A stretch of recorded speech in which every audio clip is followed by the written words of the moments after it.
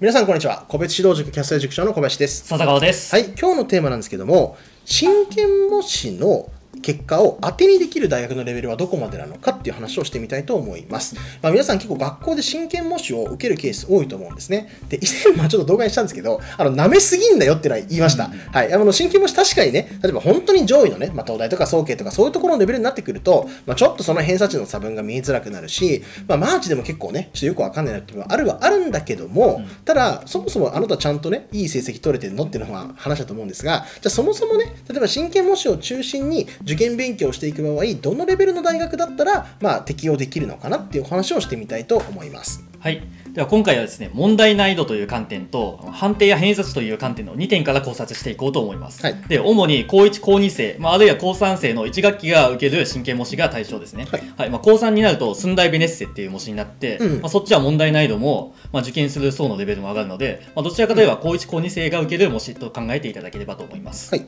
はい、ではまず結論なんですけども、まあ、問題難易度という観点では、まあ、私立だと G マーチ、カンカン同率あたりで国公立だと、まあ、中堅ぐらいの国地方国公立大ぐらいかなっていうふうに思います、はい。で判定や偏差値という観点では、まあ、私立だと日東駒線とか参勤交流ぐらい。で国公立だと下位の国公立大っていうふうになるのかなっていうふうに思いますね。はい。じゃあまずは問題難易度からちょっと詳しく考えていこうと思うんですけども、うん。まあ、真剣模試は簡単だってよく言われると思うんですけどもただ決して問題難易度が著しく低いっていうわけではないんですよね。はい。はい、で理由はですね、まあ、平均得点率が、まあ、年にもよりますけども大体30%から40%ぐらいで、まあ、これが偏差値50となりますね、はい。で偏差値607080は、まあ、大体こんな感じになるかなっていうふうに思います、まあ、あくまで目安で、まあ、8割取ったからといって偏差値80は出ないとは思いますけど、まあね。まあまあざっくりね、うん、まあでも偏差値70取るには、まあ、ぶっちゃけ78割は必要かなって感じはするよね。はいまあ、8割はいかないかもしれないですそうですね。はい。で実際その偏差値607080ってどのような大学が並ぶのかちょっと調べてきたんですけども、まあ、こんな感じになるかなというふうに思いますねそうですね。だからこれ見ると、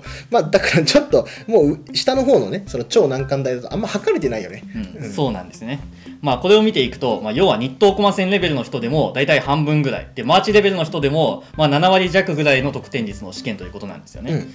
でも実際日東駒専とかマーチの試験ってもっと7割以上得点が必要なこともあるじゃないですか。うんうんでしかもこれ高1高2生の指標で考えていてで高3になって受けるスンベネってもう少し難易度が高いということを考えると、はいはいはい。まあ、試験自体の難易度が、まあ、そこまで簡単というわけではないのかなというふうには思います。まあそうだね、うん結構あのなんやかんや落としてる人多いからね、そうですね。うん、あれちょっとちゃんと復習してみなってものは意外とありますよ、うんうん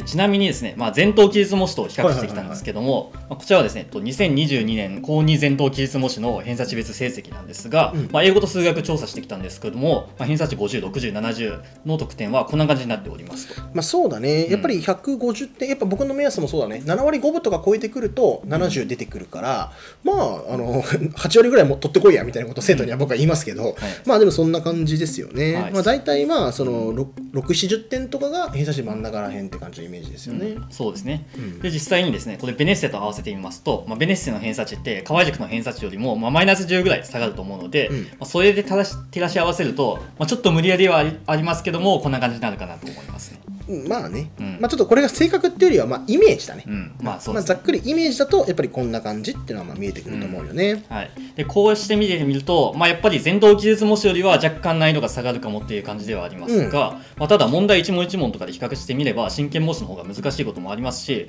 なんかコメント欄でも英語とか国語は前頭記述より難しいという声も結構あったんです。よなるほどね。で僕も確かに正直そう感じるところはあったんですけども、まあ、ただで一応データを見た感じだと、まあ、必ずしも真剣模試の方が前頭記述より難しいとは言い切れないからまあそうだね。データ的にはそうなってしまうとは思う。うんそうですね、まあ、ただ平均点とか見た感じだと、うんマーチとか上位国公立大志望の人でも、まあ、7割弱ぐらいの得点率って考えると、まあ、決して簡単ではないですしそうだねしかも公立トップの日比谷高校とか横浜水蘭高校も実は真剣模試受けるみたいなんですよそうなんだ。はい。はい、でそこその高校の平均点でも大体7割ぐらいだったんですよね。あ、そう。意外にできないね。はいそうなんですよね。はい、全水ダメだ蘭とかいやめちゃめちゃ優秀だけどね。はいまあ、なので、えっと、最上位の総計とか上位宮廷よりも下の大学を目指す人にとっては、まあ、それなりに骨のある問題。確かに。問題演習とか基礎力の確認という意味では結構使えるんじゃないかなとは思いますね。はい。まあでもやっぱちょっと個人的にはね、採点の部分もちょっと気になるんだよね。そうですね、うんまあ、実際正直採点が甘いところとかも、まあ、感じますし、うん。あとこれもちょっと個人的な意見ではあるんですけども、うん。まあ、ちょっとディスっちゃうことになるかもしれないですけども、なん。かあんまり問題の質良くないかなというふうには感じます。まあそうだね。ちょっと個人的にもそれは思う。特に採点とかはなんか答えが合ってればなんか途中結構無視して点来たりとかするんですよね。そうですね。前頭記述の方がなんか答えだけ合ってても途中がなんかぐちゃぐちゃだと全然点がもらえないっていうようなイメージはあるので、うん。まあ、特に理系科目っていうかまあ数学だね、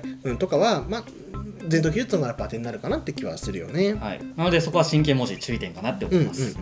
で実次にですね判定とか偏差値について考えていこうと思うんですけども、まあ、分かりきってることだとは思うんですけども受験する層の幅が広いですよね、はいはいはい。まあ、そもそも受験者が多いですし大学進学しない人も受験するそうだね。うんはい、なので、まあ、上位の大学になると偏差値はすごい高くなっちゃうんですよ。そうだね。はい、で東大とか京大とかあと早慶あたりも偏差値80オーバーしちゃって、ね。はい、上が詰まっちゃってると。そうだそこの差分がもう見えなくなっちゃってるからね。そうなんですよね、ちょっとしたミスでも位置変わってしまってわけが分からなくなっちゃいますよね。そうそうそうそうはい、でしかもですよあの超進学校と言われる高校の生徒はあんまり受けないじゃないですかそうですね、はい僕もだから実は人生で進研模試を自分で受けたことは高校生の頃はないです。あそうなんですね一回もないです。はい。はいということは、まあ、これライバルが減るということで、まあ、自分がいい成績を取るとこれで OK だって油断してしまう人が多いんじゃないかなと思います、なのでこの辺の大学を目指す人にとっては、まあ、ほぼ当てにならないかなとは思いますそうだね。はい、あとはまあ偏差値70とかでも、まあ、マーチとか関関同立とか、ねうんまあこの辺が並んでるんですけどもやっぱり使いづらいかなって思いますそうだね。まあだからギリ、例えばマーチの中でもちょっと入りやすいところうんとかだと、まあギリ使えるか使えないかって感じだよね。うん正直あんまりうんやっぱマーチとかも全統だよなって感じだよね。いや本当に一番上とかだとぶっちゃけ駿台が一番ね差分が出るので見やすいかなってイメージあるよね。はい、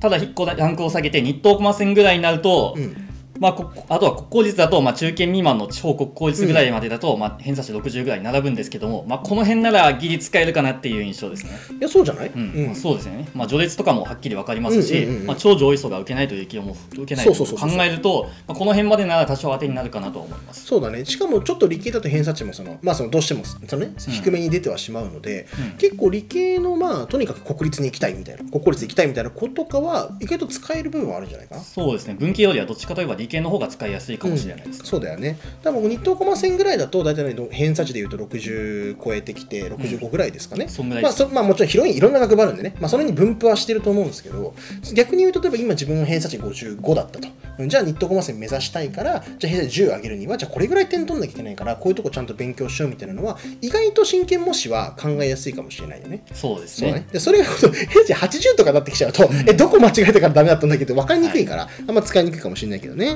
はいまあ、ただここまで述べてきてですね、うん。問題点がありまして、まあはい実際地方の高校だと進学校でも真剣模試を受けている高校は多いんですよ、多いね。はい。うん。で自称進学校となると、まあ、難関大を目指す上位の人にとっても、まあ、真剣模試の結果をもとに進路指導が行われているケースもありますあります。よね、はい。でそういった人たちはどうすればいいのかって考えてきたんですけれども、まず一つ目はですね真剣模試は取れて当たり前だっていう状態まで持っていくことですね、まあこれが一番というか、そもそも取れてないのにバカにしても意味ないからね。そうですね。取れまくって、いや余裕っすよってなってからね、うん。言いたいことは言えよって話ですよね。そうですね、はい。まあ、難関大を目指す人にとっては、まあ、問題が優しく感じると思うんですけども、まあ、取れなかった問題は徹底的に復習することこれを忘れずに行っていただきたいですね、はい。はい。問題が優しい以上、まあ、他の模試よりも基礎的な問題が問われているわけですから、まあ他の模試よりも特に復習に力を入れることが大事なのかなって思います、はい。